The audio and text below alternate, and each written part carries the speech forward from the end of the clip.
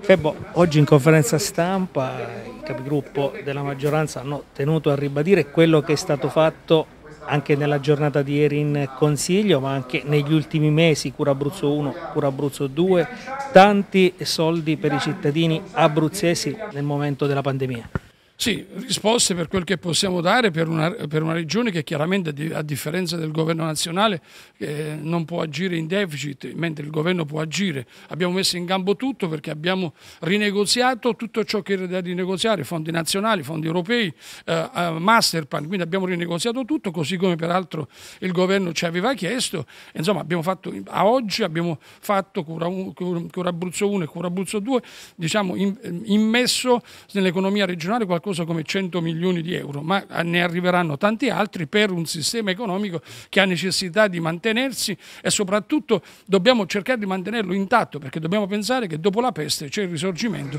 come, da, come scriveva Dante, e quindi dobbiamo pensare anche al futuro. Lei in conferenza stampa Testa ha sottolineato che in questo momento non dovrebbero esserci polemiche. Ma io mm, non appartengo a quelli che vanno dietro le polemiche, io voglio vedere lavorare ogni giorno per il futuro dell'Abruzzo, ieri è stata una giornata realizzativa importante, abbiamo destinato ulteriori milioni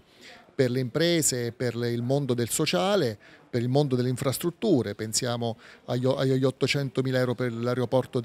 d'Abruzzo, pensiamo ai 190 mila euro per i centri diurni di Teramo e L'Aquila, pensiamo ai 6 milioni di euro per le imprese, in aggiunta ai 6 milioni già stanziati per le domande a fondo perduto, pensiamo ai 700 mila euro stanziati per la categoria dei fotografi, una categoria che è stata abbandonata totalmente dal, dal governo nazionale. Sant'Angelo, voi oggi in conferenza stampa avete ribadito la bontà del lavoro portato avanti dalla maggioranza della giunta regionale anche per quanto riguarda l'operazione Napoli Calcio quest'estate a Castel di Sangro. Beh, allora, il Napoli Calcio rientra in un'operazione di marketing e di valorizzazione del, ter del territorio. Considerare il territorio dell'Alto Sangro è un territorio che vive prettamente d'inverno, abbiamo fatto un'inversione un di turismo, che c'è stato anche un forte turismo per la stagionalità estiva. Diciamo è un'azione di marketing, il Napoli su tutte le testate giornalistiche sportive risulta essere la quinta squadra italiana con milioni di tifosi, quindi dare questo contributo, questa pubblicità attraverso il Napoli Calcio secondo me è un investimento che ci proietta per il futuro, non per l'oggi,